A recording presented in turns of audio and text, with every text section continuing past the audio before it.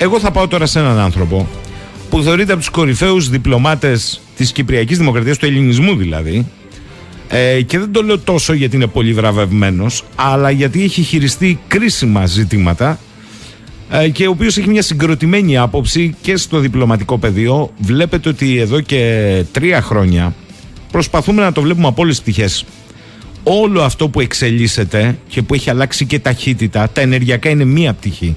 Η μεγαλύτερη αξία και σημασία είναι εδώ να δούμε γεωγραφικά, γεωστρατηγικά, γεωπολιτικά κυρίως πώς αυτή η περιοχή έχει κομβικό ρόλο στους μεγάλους παίκτες ισχύως. Είναι ο κύριος Περικλής Νεάρχου. Καλημέρα κύριε Πρέσβη. Καλημέρα αγαπητέ κύριε Σαχίνη και καλημέρα στους ακροατές μας. Για πείτε μου κύριε Πρέσβη, πριν πάω στο αμυγός πεδίο που γνωρίζετε καλύτερα όλων, είναι δυνατόν να χαράσουμε στρατηγικές Ελλάδα και Κύπρου με λογικές ότι ο Ορντογάν είναι απομονωμένος ή ότι η εισβολή της Τουρκίας στην ΑΟΣ της Κύπρου είναι ένδειξη αδυναμίας επειδή η Κύπρος δεν έχει πολεμικό ναυτικό. Έτσι αναλύουμε τα γεγονότα. Αυτά, αυτά είναι, δεν είναι σοβαρά πράγματα να συγγνώμη για τον τρόπο που τα χαρακτηρίζω αλλά δεν είναι σοβαρά πράγματα και προσπαθούν να συγκαλύψουν την πραγματικότητα με ένα πέπλο ότι η συνεπής πολιτικής δίθεν ότι εμείς το πάμε διπλωματικά ναι αλλά ο άλλος το πάει με την ισχύ των όπλων και δημιουργείται τελεσμένα γεγονότα. Εάν το πράγμα δεν είχε ακριβώς αυτή τη δημιουργία των τετελεσμένων γεγονότων δεν θα είχε σημασία. Αλλά το να μιλάς εσύ με λόγια απτερόεντα και ο άλλος με πράξεις και με δημιουργία τετελεσμένων γεγονότων και να τα ερμηνεύεις ότι αυτό είναι ένδειξη αδυναμίας για τον άλλο. Δεν είναι δείγμα ούτε σοφροσύνης ούτε σοβαρής πολιτικής. Και αυτό είναι το πρόβλημά μας ότι θυμάστε στην αρχή του Πελοποννησιακού πολέμου τι έλεγε ο Περικλής Λέει δεν φοβούμε ούτε τους Σπαρτιάτες ούτε κανένα άλλο. Φοβάμαι τις δικές μας αδυναμίες. Αυτό είναι που ισχύει εδώ. Εδώ δηλαδή ό,τι παθαίνει η Ελλάδα είναι από τις ηγεσίες της και είναι από, την, και από τον τρόπο που χειρίζονται τα μεγάλα προβλήματα του έθνους. Εδώ η τουρκική πλευρά δεν έχει αποκρύψει οτιδήποτε. Εξαγγέλει πανηγυρικά αυτό που θέλει να κάνει. Προετοιμάζεται συστηματικά φτιάχνει στόλο, ενισχύει την αεροπορία της, αγοράζει S400 έστω και αν αυτό τη δημιουργεί άλλα προβλήματα με τις Ηνωμένες Πολιτείες. Ενισχύει δηλαδή το οπλοστάσιό της με στόχο να ανατρέψει μια κατάσταση που υπάρχει σε σχέση με την Ελλάδα και την Κύπρο γιατί δίνει τεράστια σημασία σε αυτό που λέγεται ενέργεια.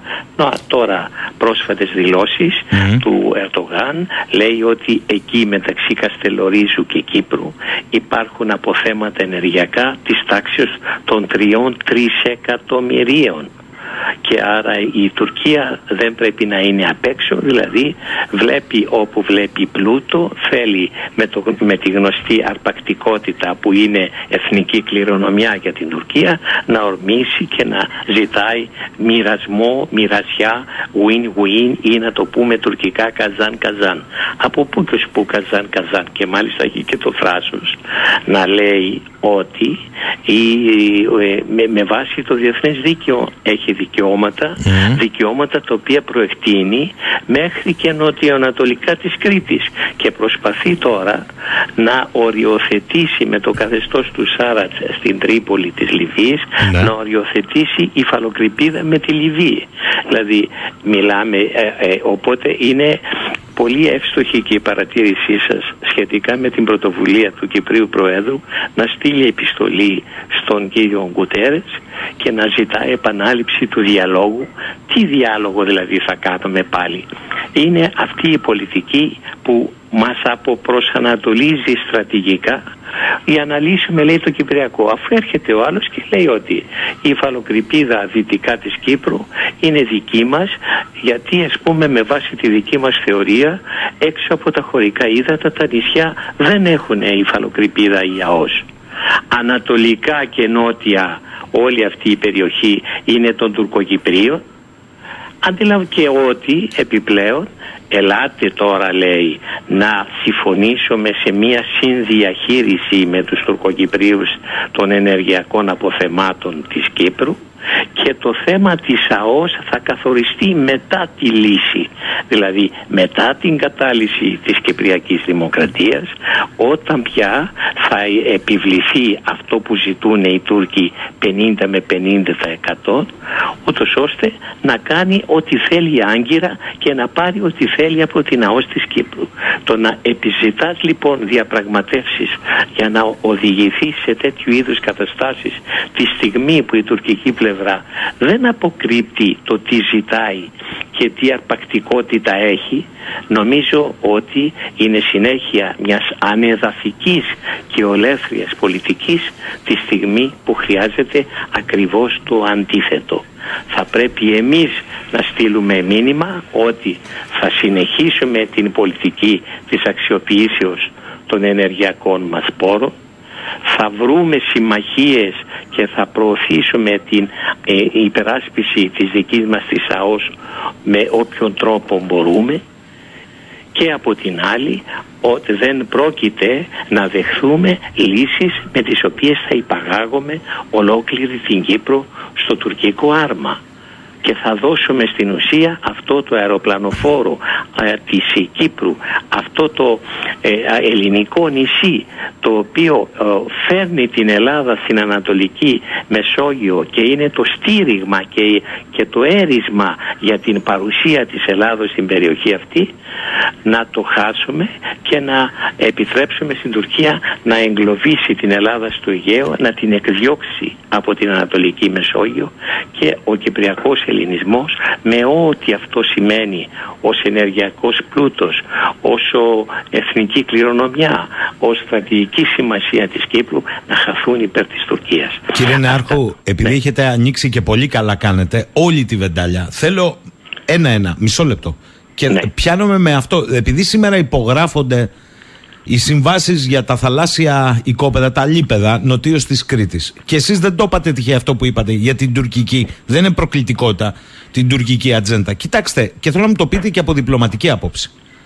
Στον Αυλώνα έχεις μια υπερσύγχρονη ναυτική βάση όπου οι Τούρκοι έχουν εγκαταστήσει μέχρι και φρεγάτες. Και κάνουν και περιπολίες στα διεθνή. Από Ιόνιο φτάνουν δυτικά της Κρήτης, ασκήσεις με πραγματικά πυρά. Απ' τη μια. Απ' την άλλη έχουμε την πρόκληση στην Κυπριακή ΑΟΖ. Και όσα λένε και για την επίρρεια που δεν έχει όπως λένε αυτοί, το Καστελόριζο. Λέω εγώ με το φτωχό μου μυαλό, δεν είμαι διπλωμάτης.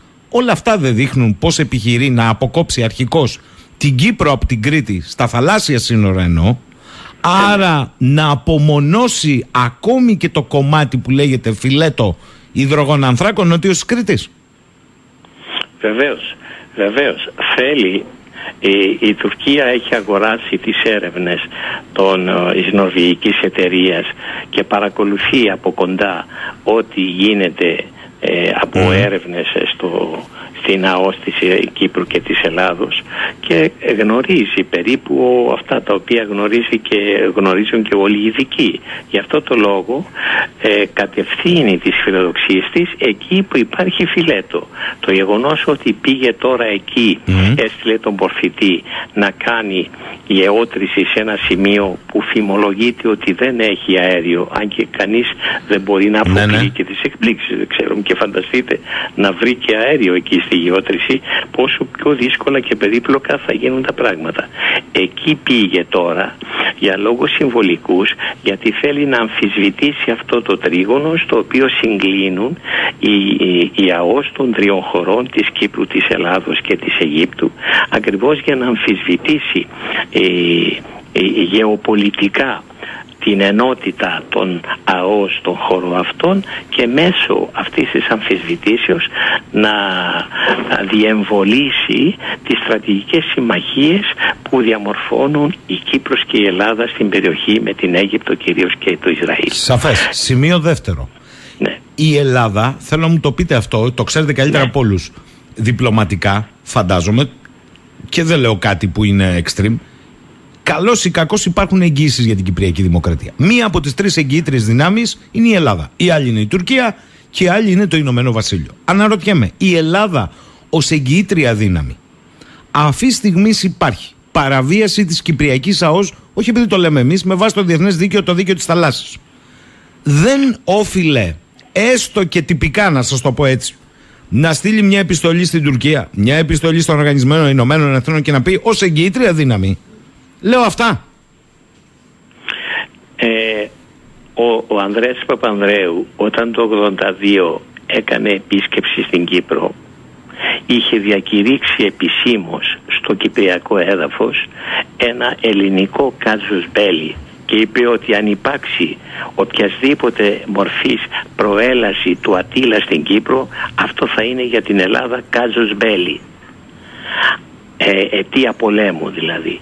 Από τότε όμως έχουν περάσει πάρα πολλά πράγματα. Μεσολάβησε ο σημιτισμός και ακολούθησε η πολιτική της σημερινής κυβερνήσεως η οποία στην ουσία είναι το ίδιο αμάλγαμα εμπνέεται από τις ίδιες αρχές του κατευνασμού το να τα βρούμε με την Τουρκία όχι εθνικισμοί, όχι εξοπλισμοί. Γιατί βλέπετε ότι η Τουρκία ε, ε, ε, το κάνει δημοσίως και ξέρουμε ότι έχει υποεξέλιξη πάνω από 500 στρατιωτικά προγράμματα και ενισχύει τις δυνάμεις της σε όλους τους τομείς. Εμείς έχουμε οικονομική κρίση, αλλά δεν σημαίνει ότι η άμυνα μπορεί να περιμένει και ότι δεν πρέπει λόγω οικονομικής κρίσης να μην κάνουμε το ελάχιστο αναγκαίο ούτως ώστε να διαφυλάξουμε μια σχετική ισορροπία αεροναυτικής στο Αιγαίο. Μέχρι τη δεκαετία του 80 τουλάχιστον που ήταν το Πασόκ ήταν σαφέστατο και ήταν δόγμα ότι δεν μπορεί η Ελλάδα να χάσει το αεροναυτικό πλεονέκτημα στο Αιγαίο γιατί είναι όρος ασφάλειας και αποτροπής. Γι' αυτό το λόγο ε, παρακολουθώ με θλίψη να επιτρέπουμε στην άλλη πλευρά να αποκτά ένα πλεονέκτημα αεροναυτικό και ε, βεβαίως το χρησιμοποιεί για να εκβιάσει στρατηγικά την ελληνική πλευρά και να λέει και μάλιστα να μιλάει, να λιδωρεί και τον πρωθυπουργό της χώρας και να λέει ας μιλάει και ας λέει ότι θέλει από μόνος του ο Τσίπρας. Ή κουτσίπάπια ή θα σας πετάξουμε στη θάλασσα και τα ναι, γνωστά. Ναι, ναι, ναι, ναι, και ο Μπαξελίνα λέει θα σας πετάξουμε ξανά στη θάλασσα. Δηλαδή όταν έχεις να κάνεις με την Τουρκία η οποία και από παράδοση έχει αυτή την προτεραιότητα στη βία και στην αρπαγή και στο, στο στρατό, στους εξοπλισμούς δεν είναι δυνατόν εμείς να ανεχόμαστε αυτή την κατάσταση και να παίρνουμε ρίσκα όπως έλεγε και κάποιος από τη σημερινή κυβέρνηση, από το σημερινό κυβερνό κόμμα ότι θα πάρουμε ρίσκα με την Τουρκία. Τα ρίσκα μπορούν να είναι θανάσιμα για τη χώρα και δεν επιτρέπονται όπως βλέπετε παράδειγμα τώρα. Έχουμε, ασκούμε πίεση στην Ευρωπαϊκή να πάρει μέτρα εναντίον της Τουρκίας. Ένα από τα όπλα που χρησιμοποιεί και επισύει απέναντι στην Ευρώπη ο Ερντογάν ποιο είναι, είναι ότι θα στείλει εκατομμύρια λαθρομετανάστες στην, στην Ευρώπη. Τι έπρεπε να κάνει η Ελλάδα ήδη για να, για να προκαταλάβει τα πράγματα θα έπρεπε για λόγους εθνικής ασφάλειας να ασφαλίσει τα σύνορά του για να πάρει να αφαιρέσει και αυτό το όπλο από τα χέρια του Ερντογάν κάνει το ακριβώς αντίθετο. Βλέπω τώρα καινούριε ειδήσεις, έχει γεμίσει το λιμάνι της Αλεξανδρουπόλεως με λαθρομετανάστες από την Τουρκία, οι οποίοι ε, δεν ε, αποθούνται γιατί τάχα μου είναι γνωστή ιστορία ότι πρέπει όλοι να γίνονται δεκτοί κτλ.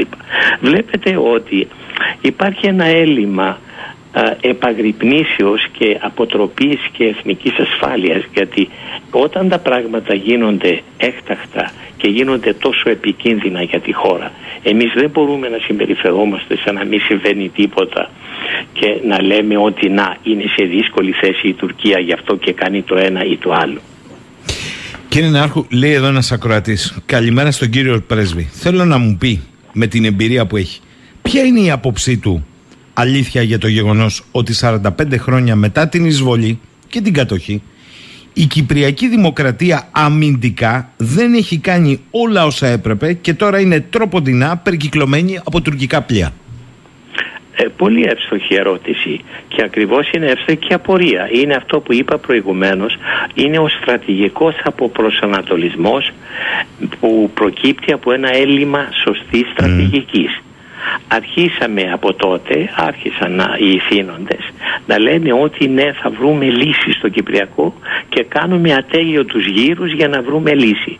Ξέρετε ότι σε όλες τις συμφωνίες για επανέναξη των συνομιλιών έμπαινε και ένα άρθρο που έλεγε ότι να αποφεύγονται οι διεθνείς καταγγελίες και οι διεθνείς εκστρατείες για να μην υπονομευθεί το κλίμα των συνομιλιών.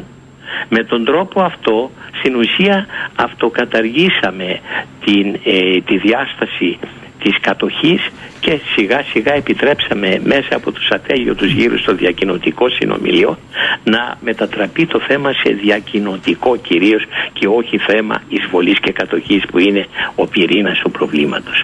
Στο πνεύμα λοιπόν αυτό αναπτύχθηκε από τους ε, θειασότες και υπέρμαχους της πολιτικής στο συνομιλίο και μία θεωρία ότι δεν πρέπει να προωθούμε ε, την άμυνα γιατί αυτά είναι θέματα τα οποία, τα οποία εμποδίζουν την προσέγγιση με τους Τουρκοκυπρίους και ότι θα υπονομεύσουν τις συνομιλίες.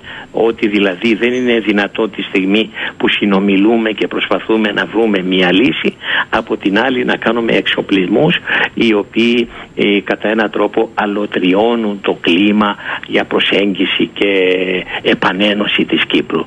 Με τις θεωρίες λοιπόν αυτές ενώ δεν υπάρχει πρόβλημα οικονομικό γιατί στην Κύπρο υπάρχει το Ταμείο Αμυντικής Θωρακίσεως το οποίο συγκέντρωσε από την ίδρυσή του γύρω στα 8,5 δισεκατομμύρια ευρώ είναι ένα ποσό υπερεπαρκές για την κάλυψη της αμυντικής θωρακίσεως της Κύπρου. Αρχής γενομένης όμως από τον αποθανόντα προσφάτως ε, Δημήτρη Χριστόφια πρόεδρο ναι, ναι. Ε, Δημήτρη Χριστόφια ε, τα χρήματα αυτά του Ταμείου αντί να χρησιμοποιούνται για την άμυνα διετέθησαν κατά 70% για άλλες ανάγκες του προϋπολογισμού και μόνο το 30% κατευθύνθηκε στους εξοπλισμούς. Δεν είναι λοιπόν θέμα τεχνικό ή θέμα οικονομικό που εμπόδισε την άμυνα. Είναι, αυτό, είναι αυτός ο λανθασμένος προσανατολισμός σε ό,τι αφορά την πολιτική στο Κυπριακό και το έλλειμμα στρατηγικής. Κύριε Νάρκο, ξέρετε, ε, από την άλλη, εγώ αντιλαμβάνομαι ότι οι Κύπροι πολίτες ε, τουρκικής καταγωγής, τουρκοκύπροι δηλαδή, αντιλαμβάνομαι ότι υφίστανται την όποια καταπίεση από τον τουρκικό στρατό και το τουρκικό κράτος. Ωραία, αυτά ακούγονται. Δεν είδα όμως τους τουρκοκυπρίους που είναι και η μειονότητα στην ουσία, στην υπόθεση αυτή, αλλά εν πάση περιπτώσει, δεν τους είδα να διαμαρτύρονται για τον τρόπο που τους χρησιμοποιεί η Τουρκία αυτή τη στιγμή. Δηλαδή αυτά τα περίφημα ότι ο Ακιντζή είναι κάτι διαφορετικό, δεν τον είδα να ορθώνει μια ανάστημα και αυτός και όλοι οι άλλοι. Κύριος Σακιντζή, ο κύριος Σακιντζή λέει ακριβώς τα ίδια που λέει και ο Ερντογάν. Μάλιστα. Τον είδαμε. Άρα δεν ενδιαφέρεται τόσο ναι. για τα δικαιώματα της Κυπριακής Δημοκρατίας, μέρος της οποίας κανονικά θα έπρεπε να είναι και ο ίδιος. Για να τα λέμε ναι, να καταλαβαίνόμαστε. Ο ίδιος απορρίπτει την Κυπριακή Δημοκρατία γιατί είναι ενιαία, ενιαίο κράτος και θέλει δύο, μια νέα δημοκρατία δύο κρατών ισοτήμων μεταξύ τους, δηλαδή η, να υποταγεί της ελληνικής πλειοψηφίας στην μειοψηφία την τουρκοκυπριακή. 18% είναι οι Τουρκοκύπροι. Τώρα στα κατεχόμενα δεν είναι μόνο οι Τουρκοκύπροι. Οι Τουρκοκύπροι, όπως σωστά είπατε προηγουμένως είναι μειοψηφία εναντί των επίκων. Ε, και, ε, να υποταγεί λοιπόν μέσα από μια τέτοια συνταγματική ρύθμιση 50 με 50% της, της πλειοψηφίας στη μειοψηφία και μέσω της ελεγχόμενης από την Άγκυρα τουρκοκυπριακής μειοψηφίας υποταγεί όλης της Κύπρου στην Άγκυρα. Αυτό είναι το θέμα όλο. Mm. Οπότε το να, το να λέμε και να... Ε, το ΑΚΕΛ έχει κάνει πολύ μεγάλη ζημιά γιατί με όλη αυτή την πολιτική τη δίθε διεθνιστική της προσεγγίσεως με τους Τουρκοκυπρίους αυτά δεν είναι σοβαρά πράγματα. Όταν ο άλλος κάνει κατοχή και όταν ταυτίζεται με την κατοχή η τουρκοκυπριακή ηγεσία και όχι μόνο η τουρκοκυπριακή ηγεσία, όλα σχεδόν τα κόμματα τα τουρκοκυπριακά είναι ταυτισμένα με την πολιτική αυτή, περιλαμβανομένου του κυρίου Καμίλ Κιζίλ Γκιουρέκ, ε, ε, που τον ε, παρουσίασε στις ευρωεκλογές του ΑΚΕΛ ως ευρωβουλευτή και τον εξέλιξε ως ευρωβουλευτή.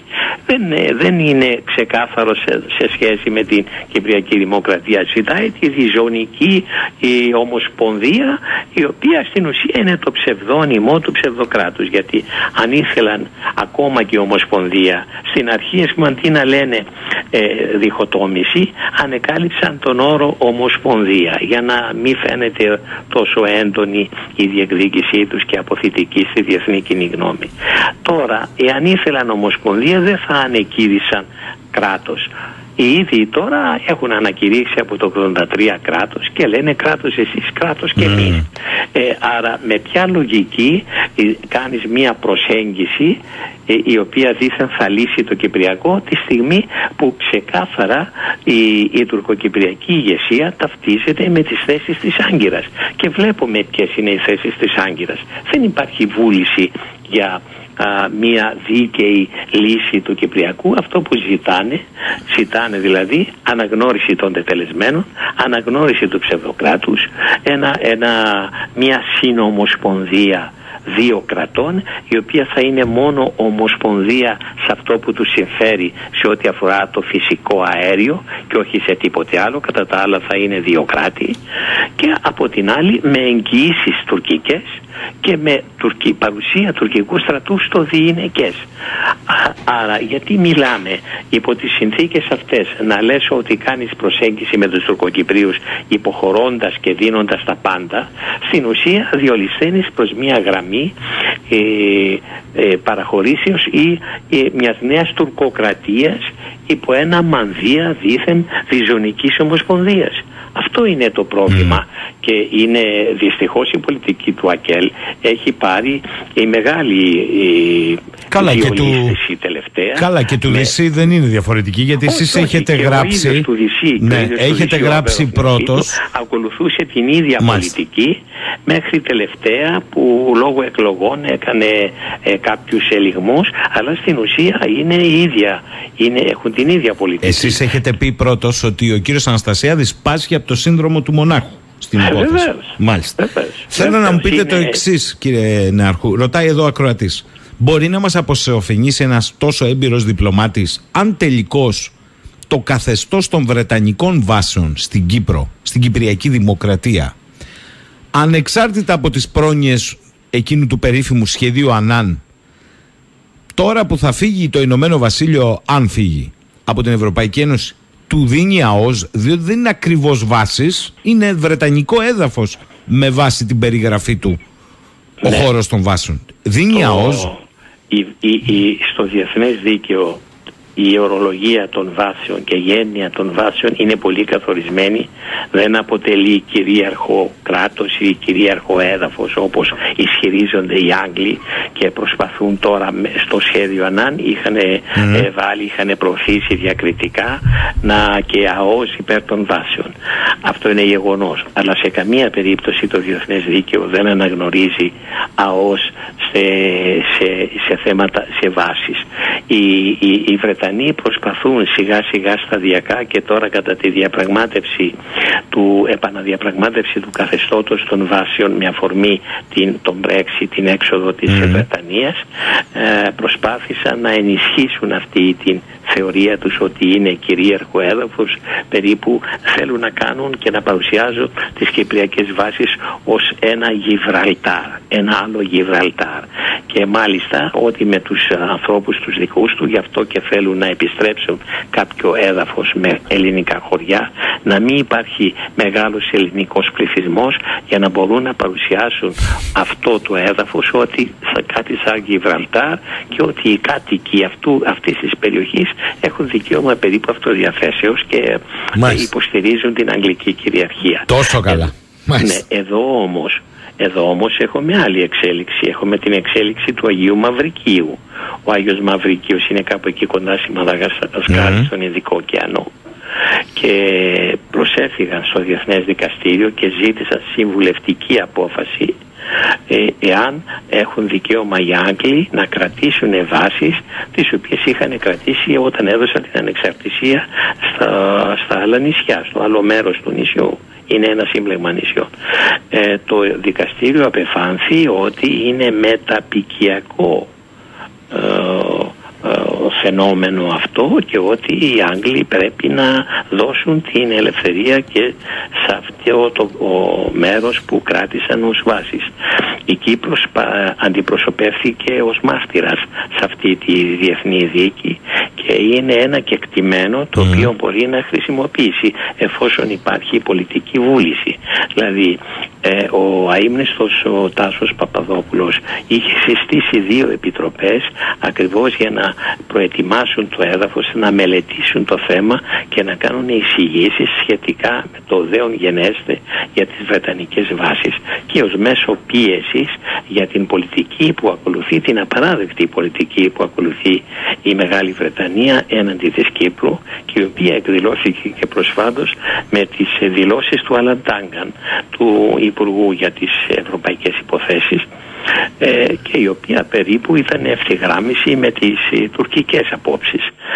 Ε, είναι ένα θέμα το πράγματι πρέπει να ασκηθεί η πίεση στη Μεγάλη Βρετανία γιατί είναι απαράδεκτο αυτοί που δημιούργησαν το πρόβλημα και οδήγησαν σε μια τέτοια σύμφορα στην Κύπρο να εξακολουθούν ακόμη και τώρα να αντιστρατεύονται την Κύπρο και να συμμαχούν εναντίον της με τον τουρκικό Ατήλα. Κύριε Νάρκο, είναι πολύ ενδιαφέροντα τα όσα μας λέτε. Θέλω να έρθουμε στο διατάφτα. Ποια κατά τη γνώμη σας με την πολυετή εμπειρία και στο χειρισμό των ζητημάτων της Κυπριακής Δημοκρατίας αλλά και, στον, ε, και στην άποψη και τη γνώση και των ελληνοτουρκικών ζητημάτων δηλαδή της φαλοκρηπίδας που λέμε εμείς οι άλλοι τα λένε όλα αλλά κατά τη γνώμη σας σήμερα σας θυμίζω ναι, ναι. Σας θυμίζω ότι αυτή η ιστορία έχει ανοίξει τρεις εβδομάδες πίσω μέσα από τις στήλες καθημερινής δια υπογραφής χειρός του πρώην Πρωθυπουργού του κ. Σιμίτη, ο οποίος είπε ότι μπρος αυτά που έρχονται. Ε, ας κάνουμε ένα συμβιβασμό να μην θυμώνει. Ο κύριος Σιμίτης είναι ο πρώτος πρωθυπουργός, αν θυμάμαι καλά, που αποδοκιμάστηκε ακόμη και από τον Αμερικανό πρέσβη δεν έχει παρατηρήσει άλλο φαινόμενο να αναγκαστεί ο Αμερικανός πρέσβης να αδειάσει τον κύριο Σιμίτη γιατί είχε πάρα πολλές ανακρίβειες. Πέρα από τις απόψεις του που είναι αυτές είχε και πάρα πολλά λάθη και ανακρίβειες στο άρθρο του παράδειγμα. Mm. ταυτίζει την ΑΟΣ με την υφαλοκρηπίδα. Σωστό. Που έχουν αλλά δεν είναι τα ίδια πράγματα. Έχετε δηλαδή, δίκιο. είναι ε, ε, πολλά λάθη είπα ένα ενδεικτικά. Αλλά και αυτό το θέμα είναι ότι με την Αμερικάνικη πολιτική η Αμερικανική πολιτική ε, που εκφράζεται σήμερα ακόμη και με τον Πάγια ο οποίος ήταν άνθρωπος της, ε, της Κλίντον αλλά ξέρετε οι πρέσβεις δεν ακολουθούν δική τους πολιτική ακολουθούν κάθε φορά την πολιτική της κυβερνήσεώς τους. Ε, εδώ θα πρέπει να πούμε ότι πάρτε το 74 το 74 οι Τούρκοι έκαναν την εισβολή με την υποστήριξη ποιών την υποστήριξη των Αμερικανών και του Ισραήλ. Μάλιστα. Σήμερα η κατάσταση είναι ίδια; Όχι. Δεν είναι καθόλου ίδια. Γιατί υπάρχουν. Μου επιτρέπετε και... παρε, παρεπιπτόντως, μιας και το θίξατε, το 1974 ναι. να, να θυμόμαστε γιατί ως ναι. λαός έχουμε μια δυναμία. Είχαμε την εισβολή και την κατοχή στην Κύπρο. Την εισβολή, ναι. εχθροπραξίες, αλλά διπλωματικές σχέσεις Ελλάδα-Τουρκία ναι. δεν είχαν διακοπεί. Αυτό ε. δείχνει, ναι. δείχνει την πολιτική ότι η Ελλάδα τότε δεν διέκοψε καν τις διπλωματικές σχέσεις με την Τουρκία. Μάλιστα. Όχι μόνο δεν επενεύει, και εδώ θα πρέπει να το πούμε, ε, ε, κύριε Σαχίνη, η Ελλάδα είχε αεροναυτική υπεροχή τότε. Δεν φοβόταν την Τουρκία ούτε στην Κύπρο ούτε στο Αιγαίο. Είχε αεροναυτική ποιοτική υπεροχή. Αυτό όμως το οποίο δεν είχε ήταν μια πολιτική ηγεσία η οποία θα σήκωνε κεφάλι ακόμη και εναντίον των Αμερικανών. Γιατί τι έκαναν οι Αμερικάνοι; Επειδή, επειδή υπεστήριζαν, είχαν αυτή την πολιτική Κίσινγκερ στο Κυπριακό και στα Ελληνοτουρκικά, ασκούσαν πίεση ακόμα και μετά την ανατροπή της Χούντας στον Καραμαλή να μην επέμβει στην Κύπρο και δεν επενεύει ακολούθησε την Αμερικανική πολιτική παρά το γεγονός ότι είχαμε αεροναυτική υπεροχή. Τι έκανε ο Παπανδρέου το 87. όταν πήγαν να του ασκήσουν πίεση και εκβιασμό θυμάστε τι έκανε; Έκανε κάτι το οποίο δεν τολμούσε να κάνει ο Κωνσταντίνος Καραμαλής έστειλε τον παππούλια στη Σόφια και με αυτό έστειλε το μήνυμα ότι σε περίπτωση που οι Αμερικανοί πάρουν το μέρος των Τούρκων και θελήσουν να εκβιάσουν την Ελλάδα θα πρέπει να γνωρίζουν ότι η Ελλάδα δεν θα κρατήσει το θέμα εντός του πλαισίου του ΝΑΤΟ αλλά θα διεθνοποιήσει την κρίση και θα εμπλέξει και τον άλλο συνασπισμό στο θέμα. Αυτό έκανε την Αμερικανική πλευρά να αμέσως να κάνει πίσω και να ανακαλέσει τα πλοία, τα ερευνητικά που πήγαιναν στο Αιγαίο κτλ. Δηλαδή βλέπετε ότι κάθε φορά θα πρέπει να ξέρουμε πώς παίζεται το παιχνίδι και θα πρέπει να είμαστε σε θέση να παίξουμε ακριβώς ένα τολμηρό παιχνίδι και να κάνουμε τα χαρτιά μας. Άρα δηλαδή, σήμερα τι ιδέων γενέστε; Το δέον γενέστε τώρα είναι το εξής ότι η, η κατάσταση γεωπολιτική έχει αλλάξει.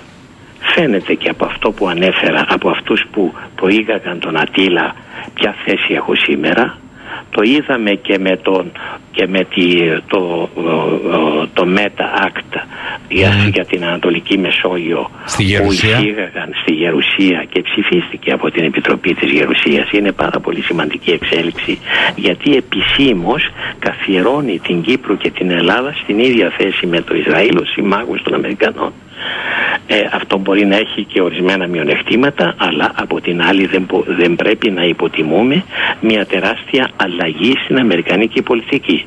Βεβαίως, και εκεί είναι το θέμα ότι η κατευναστική πολιτική της ελληνικής πλευράς μπορεί να αξιοποιηθεί από την αμερικανική πλευρά ως ανταλλάγματα προς την τουρκική σε περίπτωση που υπάρξει η παναχώρηση από τα όσα γίνονται σήμερα της τουρκικής πλευράς και επιζητήσει η σύγκληση με τις αμερικανικές απόψεις. Δηλαδή θα πρέπει και αυτά να τα έχουμε στο μυαλό. Ε, αυτό το οποίο πρέπει, ε, δεν πρέπει να κάνουμε είναι ε, πολιτική κατευνασμού ε, προς την τουρκική πλευρά ε, όπως ούτε είτε στην Κύπρο είτε εδώ και άμεση ενίσχυση ε, αλλαγή στρατηγικής δηλαδή στην Κύπρο το να επιμένει σε μια αποτυχημένη στρατηγική που επί 40 χρόνια οδήγησε από το κακό στο χειρότερο δεν έχει κανένα νόημα. Από τη στιγμή που η τουρκική πλευρά έχει καταστήσει σαφές τι διεκδικεί και το επιδιώκει ε, ε, και το επιδιώκει με τη βία και με τετελεσμένα γεγονότα. Το να επιζητήσει εσύ επανέναξη συνομιλιών σημαίνει ότι στρώνεις στο χαλί αυτά που κάνει με τη βία τα τετελεσμένα γεγονότα να τα, τα φέρεις στα σαλόνια τα διπλωματικά. Και ε, υπάρχει ο κίνδυνος να εμπλακεί και η Ευρώπη σε αυτό το παιχνίδι. Γιατί η ελληνική πλευρά τώρα ποντάρει αφενός στην Ευρωπαϊκή Ένωση και αφετέρου στους περιφερεια... στις ΗΠΑ και στους περιφερειακούς συμμάχους και στη Γαλλία η Γαλλία έχει μια πάρα πολύ καλή θέση στα θέματα αυτά και είναι ένας πολύ σημαντικός παράγον. Εάν λοιπόν η, ελληνική θέση δεν είναι ίδια σταθερή και εκπέμπει ένα πνεύμα άκρα του συμβιβασμού και άκρα του κατευνασμού μπορεί να γίνει μπούμεραν η πολιτική της και να γίνει όπλος στα χέρια άλλων. Γι' αυτό το λόγο χρειάζεται μια σταθερότητα και βεβαίως ε, μια στρατηγική ε, ε, τώρα την τελευταία στιγμή δεν μπορούν να γίνουν και πολλά πράγματα αλλά έστω την τελευταία στιγμή άμεση ενίσχυση όσο το δυνατόν της άμυνας. Δεν είναι δυνατόν ο άλλος να έχει η υπεροχή. Βλέπουμε παράδειγμα ε, την, λένε καμιά φορά ότι είναι τα οικονομικά. Καλά δεν έχουμε χρήματα για να αγοράσουμε φρεγάτες. Δεν έχουμε χρήματα για να αγοράσουμε και σύγχρονες τροπίλες για τα υποβρύχια μας και είναι εδώ και ε, δέκα σχεδόν χρόνια έχουμε τα πιο σύγχρονα υποβρύχια και δεν έχουμε σύγχρονες τροπίλες και το ίδιο συμβαίνει με πάρα πολλά πράγματα. Βλέπουμε ε, τα μη επανδρομένα αεροσκάφη. Έχουν κάνει ένα τεράστιο άλμα οι Τούρκοι. Ήδη βρίσκονται στη διαδικασία κατασκευής του, του μη επανδρομένου τετάρτης γενεάς που θα μπορεί να εκτοξεύει και πύραυλο και εμείς ακόμη ενώ είναι μέσα στις δυνατότητες της ελληνικής επιστήμης και τεχνολογίας είναι θέμα ότι δεν έχουμε μία συγκροτημένη πολιτική και δεν έχουμε μια συγκροτημένη στρατηγική. Αυτά είναι από τα οποία πάσχει η ελληνική πλευρά. Αλλιώς κατά τα άλλα με την αλλαγή τη γεωπολιτική που έχει γίνει στην περιοχή θα μπορούσαμε να, να είμαστε σε πολύ καλύτερη θέση σήμερα. Πείτε μου σας παρακαλώ πάρα πολύ, με βάση την εμπειρία σας αυτή επικαλούμε και βλέποντας πώς κινούνται αυτή τη στιγμή τα νήματα στην Ανατολική Μεσόγειο και την Αιγαίο και με όλους τους μεγάλους δρόντες αλλά κυρίως με μια Τουρκία που πέρα από τα εσωτερικά της δομικά προβλήματα και τα πολιτικά που μπορεί να προέκυψαν στον Ερντογάν μετά την εκλογή Μάμογλου έχει ενιαία στρατηγική στο πώς συμπεριφέρεται στον ευρύτερο χώρο. Εκτιμάτε ότι θα κορυφωθεί ενδεχομένως η ένταση; Ότι θα το πάνε και παρακατώ.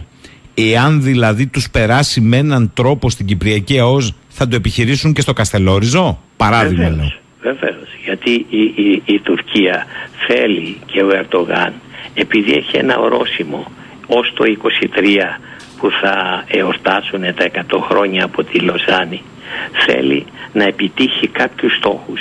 Και ο στόχος του Ερτογάν είναι μια νίκη, μεγάλη νίκη κατά των Ελλήνων και νίκες και κατά άλλων, αλλά στο εσωτερικό οι μεγάλοι ηγέτες καθιερώνονται με εθνικές νίκες και ε, πιστεύει πως ο αδύνατος κρίκος τον οποίο μπορεί να επιτύχει μια νίκη είναι η ελληνική πλευρά.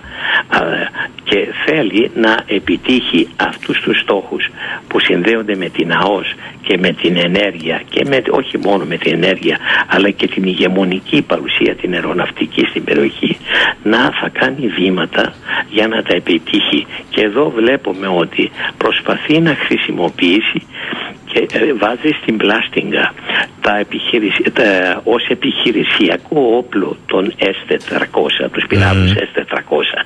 Δεν τους θέλει μόνο ως σύμβολο περιφερειακής δυνάμεως και τέλος πάντων ως πολιτικό όπλο για την πολιτική που θέλει να προωθήσει. Θέλει να το αξιοποιήσει και ως επιχειρησιακό όπλο στους στόχους που προωθεί. Αυτό είναι πάρα πολύ σημαντικό ε, και ε, θέλει να κάνει πακέτο και να σύρει σε διαπραγματεύσεις για να κάνει μια συμφωνία πακέτο που να περιλαμβάνει όλη την ε, και τα θέματα του Καστελορίζου που συνδέονται με την ΑΟΣ της Ελλάδος και τα θέματα της Κύπρου. Βεβαίως η Κύπρος έχει προτεραιότητα γιατί πιστεύει ότι μέσα από το κεκτημένο που υπάρχει εκεί και μέσα από το πλεονέκτημα της τουρκικής κατοχής στην Βόρεια Κύπρο είναι ευκολότερο να εκβιάσει και να προωθήσει τους στόχους και μέσα από την κατάρρευση της Κύπρου ή την επιτυχία τους στην Κύπρο στην ουσία να οδηγήσει σε κατάρρευση τον όλο ελληνικό σχεδιασμό και αν θέλεις να διεμβολήσει επίσης το νέο σκηνικό που διαμορφώθηκε με τις στρατηγικές συμμαχίες στην Ανατολική Μεσόγειο και με την αξιοποίηση του φυσικού αερίου περιλαμβανομένου του λεγόμενου αγωγού ο EastMed. Γι' αυτό το λόγο ε, δίνει μεγάλη σημασία στην προτεραιότητα στην Κύπρο αλλά δεν περιορίζεται μόνο στην Κύπρο. Γιατί βλέπετε ότι η Κύπρος και η ΑΟ συνδέεται με την επίρρεια του Καστελορίζου. Είναι πακέτο, είναι ενιαίο πακέτο. Και από τη στιγμή που προωθεί τις ε, φιλοδοξίες του και στην νότιο-ανατολική Κρήτη και απειλεί ότι δεν θα επιτρέψει να γίνουν έρευνες και γεωτρήσεις από τις δύο εταιρείες κολοσσούς Total και ΕΣΟ με, την, με τις οποίες έγιναν ήδη οι συμφωνίες ε, από την Ελλάδα αντιλαμβάνεστε ότι η κρίση είναι στο εντογίγνεσθε και με την Ελλάδα θα είναι ενίο πακέτο. Απλώς ξεκινάει και δίνει προτεραιότητα στην Κύπρο αλλά θα περιλάβει και την η περιοχή νότιο-ανατολικά της Κρήτης και το Καστελόριζο. Η, η περιοχή νότιο-ανατολικά της Κρήτης είναι καινούργια προσθήκη τώρα γιατί θέλει να παίξει παιχνίδι και με την Αίγυπτο, να πλευροκοπήσει την Αίγυπτο μέσω Λιβύης. Βεβαίως θα αποτύχει εκεί γιατί υπάρχουν πολλές ισχυρές δυνάμεις οι οποίες δεν θέλουν την παρουσία της Τουρκίας στη Λιβύη και δεν θα επιτρέψουν στην Τουρκία να ευδοκιμήσει ε, αυτή η φιλόδοξη προσπάθεια να εγκατασταθεί γεωπολιτικά στη Λιβύη αλλά σε ό,τι αφορά την ΑΟΣ της Ελλάδος ε, σε διμερές επίπεδο με την Ελλάδα είναι ικανή να δημιουργήσει προβλήματα και εκεί χρειάζεται από τη δική μας πλευρά και απάντηση και εγρήγορση και μέτρα, συγκεκριμένα μέτρα και σε εθνικό επίπεδο αλλά και σε συμμαχικό επίπεδο. Θέλω πριν σας αποχαιρετήσω ή δυνατόν σε δύο προτάσεις να μου πείτε αν κατά τη γνώμη σας είναι αναγκαίο πλέον πρώτον η Ελλάδα να καταθέσει συντεταγμένες και το απλό έγγραφο ανακήρυξης ΑΟΣ, δεν λέω οριοθέτησης, είμαι πολύ προσεκτικός, ανακήρυξης ΑΟΣ, ένα, και δύο, αν κατά τη γνώμη σας η επέκταση των χωρικών δικαι... ε, υδάτων που είναι αναφέρετο δικαίωμα που δεν ασκούμε, ίσως είμαστε από τις ελάχιστες χώρες που δεν το ασκεί, στα 12 ναυτικά μίλια, μπορεί να σαλαμοποιηθεί ή πρέπει να είναι ενιαία ή δυνατόν με μία πρόταση να μου τα πείτε κύριε Νάρκο; Να, με, με μία πρόταση. Το πρώτο θα έπρεπε να το είχε κάνει η Ελλάδα ενώ την η ανακήρυξη της ΑΟΣ γιατί η υιοθέτηση επακολουθεί είναι διαπραγματεύσεις με, τα, με τις γειτονικές χώρες για να γίνει οριοθέτηση. Ε, προηγείται η ανακήρυξη. Η ανακήρυξη είναι κατάθεση στα Ηνωμένα Έθνη των συντεταγμένων της περιοχής που θεωρείς ως δική σου ΑΟΣ. Η Τουρκία το έπραξε. Δηλαδή εκμεταλλεύθηκε τη δική μας αδράνεια και έχει προηγηθεί. Που δεν έχει υπογράψει το δίκαιο της θάλασσας, αλλά ναι, όμως ναι, ναι, ναι, ναι, ναι Δεν το έχει υπογράψει, αλλά καταθέτει για το θέμα της ΑΟΣ, καταθέτει, έχει καταθέσει συντεταγμένες. Λοιπόν, σε ό,τι αφορά το δεύτερο, μπορεί σε ορισμένες περιοχές που ενδεχομένως, γιατί βλέπετε τον κύριο Σιμίτη στα, στα άρθρα του, ανοίγαγε σε μέγα θέμα ότι θα ενοχληθούν άλλες χώρες εάν ας πούμε ανακηρύξουμε, επεκτείνουμε εμείς τα χωρικά μας ύδατα σε, στα 12 μίλια όπως έχουμε το δικαίωμα και ε, προσπαθεί να το χρησιμοποιήσει αυτό ως μοχλό για να πάρει μια θέση ότι δεν πρέπει είναι μια θολή θέση ότι δεν πρέπει να επεκτείνουμε τα χωρικά μας ύδατα. Αυτό είναι λάθος. Σε ορισμένες περιπτώσεις εκεί και ο Ανδρέας Παπανδρέου του έλεγε ότι εκεί που χρειάζεται να κάνουμε κάποιους διάβλους για τη διεθνή η ναυσιπλοεία δεν έχουμε πρόβλημα ούτε μας δημιουργεί πρόβλημα αλλά α, επεκτείνοντας τα χωρικά μας ύδατα θα μπορέσουμε να έχουμε ως ε, εθνική θάλασσα και κυριαρχία ένα πολύ μεγάλο μέρος του Αιγαίου και όχι να επιτρέπουμε στην Τουρκία να έρχεται στο κέντρο του Αιγαίου να εγκαθίσταται με τη μορφή δίθεν ασκήσεων που κρατάνε μήνες και στην ουσία να εγκαθίσταται σε όλο το Αιγαίο με πρόσχημα τη διεθνή θάλασσα. Δηλαδή είναι πάρα πολύ σημαντικό για την Ελλάδα να ενισχύσει την κυριαρχία της και είναι μία μορφή τα χωρικά ύδατα να τα ενισχύσει εφόσον έχει το δικαίωμα. Ε, ε, ούτως ή άλλως ε, υπάρχει το με τη φοβική πολιτική του Κάζος Μπέλη να ορίστε δεν το κάνουμε εμείς αυτό που πρέπει και η Τουρκία μας προκαταλαμβάνει και πάει και λέει ναι είναι, είναι δική μου η ΑΟΣ και νοτιοανατολικά της Κρήτης. Αυτή είναι η ιστορία. Δηλαδή θα έπρεπε από καιρό να το κάνει αλλά και να προετοιμαστεί και διπλωματικά και στρατιωτικά γιατί η Τουρκία απειλεί με στρατιωτική κρίση. Αλλά και χωρίς αυτό το θέμα ούτως ή άλλως έχουμε την απειλή απειλή για την ΑΟΣ, απειλή ε, για την ε, ε, κυριαρχία στο Μισοαιγαίο. Δηλαδή βλέπουμε ότι ούτως ή άλλως έχουμε την απειλή το να, το να παραπέμπουμε σε ένα αόριστο μέλλον το θέμα είναι ένας τρόπος να το ματιώνουμε και γι' αυτό το λόγο δεν μπορεί και δεν πρέπει να συνεχιστεί αυτή η πολιτική.